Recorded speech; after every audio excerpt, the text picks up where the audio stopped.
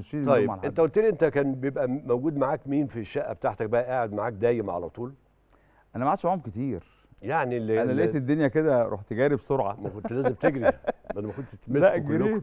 لا لا. مين اللي كان موجود معاك في ال- لا بص أنا قعدت اللي قريب قعدت ليلتين مع أيمن شوقي. أيمن شوقي. وليلة مش عارف ولا ليلتين مع شوبير.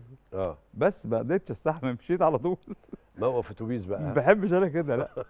طيب كابتن حمادة يمكن إحنا سبقتنا الأحداث شوية واتكلمنا إنما أنا عندي آه زمايلك في المنيا عندي الشديد قناوي وعندي يحيى دياب وإحنا لما قلنا لهم إحنا عايزين معانا الكابتن حمادة صدقي قال لك لو ما سجلناش في الحلقة دي مش هيحصل كويس وهيحصل ضرب نار.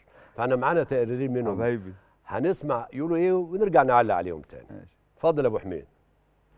آه، تحياته لضيفه العزيز الكريم أخي العزيز الكابتن حماده الصدقي. حماده الصدقي لو هتكلم اتكلم عليه أنا مطلوب مني اتكلم دقيقتين إنما لا حماده الصدقي اتكلم عليه شهور وسنين لأنه من أحد أفضل الأسطورات اللي كانوا موجودين في مصر في عصره. حماده الصدقي لاعب ذو أخلاق عالية جدا كان بيحتضننا في الفترة اللي إحنا كنا موجودين فيها المغتربين كلهم. كان والده رحمة الله عليه الأستاذ يحيى صدقي كان موجود معانا مدير كرة. كنا دايما كل أسبوع نبقى معزومين عندهم عند حمادة صدقي بياخدوا المغتربين كلهم عنده. آه، بقول لحمادة صدقي أنت من أرجل اللعيبة اللي أنا شفتها ولعبت جنبها. آه، لعبنا معاك آه، في في عصرك الذهبي والحمد لله انتقلت النادي الأهلي.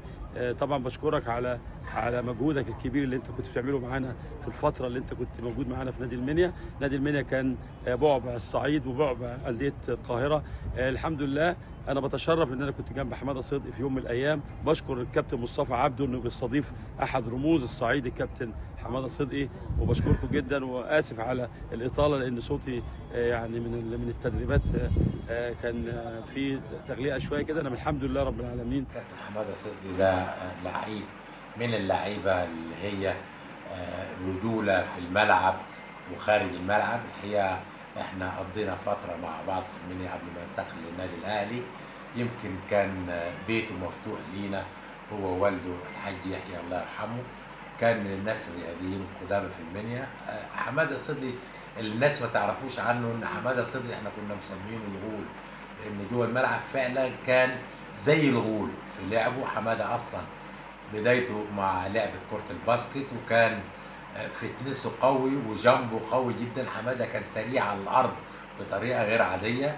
إحنا كنا دايما في المباريات بنعتمد عليه في إن هو طبعا كان بيلعب الليبرو أنا يمكن لعبت قدام منه مرة third back أو مرتين ثلاثة إنما كان آه، لعيب قوي جدا ومحترم جدا. الناس تعرفوا عن حمادة إن حمادة كان جوه الملعب بيبقى شرس وكانت الناس واخدة عنه انطباع إن هو يعني ضريب وحاجات زي كده. إنما حمادة خارج الملعب شخصية مختلفة تماما ويمكن آه، إحنا لينا مجموعة من الصور مع حمادة وهو كان لسه في آه، بدايته يمكن إحنا أكبر منه شوية في السن.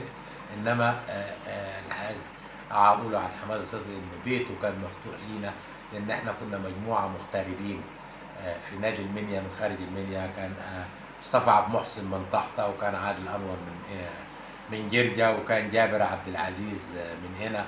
وأنا من الوادي الجديد إنما كان بيت الكابتن حمادة صدقي مفتوح لينا ودي كانت ميزة من امتيازات نادي المنيا إن إحنا ما كناش حاسين إن إحنا اغراب بين أسرتنا وبين أهالينا في المنيا. كانت الفرقة كلها عبارة عن أسرة واحدة. حمادة هتقول إيه لشديد قناوي والكابتن يحيى دياب؟ حبايبي دولت يعني. كانوا مقيمين معايا في البيت. أنت بتروح المنيا كتير لا دلوقتي لما بروحش كتير. آه انما يعني قبل قبل يمكن. الكورونا والكلام ده؟ آه كنت بروح برضو بق- يعني الدنيا خفت شوية. آه يعني يحيى كل شوية بيجي لنا القاهرة آه. معايا. لا أنا بتكلم أنت ما. بتروحش المنيا؟ لا ما بروحش المنيا كتير لا. ما بتروحش تجيب الزواد من هناك وبتاع والكلام بيجي لي. بيجي لك؟ بيجي لي آه. طب يبقى افتكرنا. حاضر. طيب بعد ما هت- هتقول لهم إيه لل لل لل- وحشني جدا وعشنا أيام جميلة جدا مع بعض آه، شديد ومصطفى عبد المحسن ويحيى دياب و... وناد ناس ك- يعني مش عايز انسى حد. إحنا كنا بص بره الملعب وجوه الملعب. يعني هو بيقول اهو كابتن يحيى. كانت فارقه معانا في النجاح. يعني آه. آه. كان بينعكس الكلام دوت في الأداء داخل الملعب. أسرة واحدة. آه خروجاتنا مع بعض. آه قاعدين عندنا عندي في البيت. آه ممكن نروح يعني عند حد تاني عند الحاج أسامة.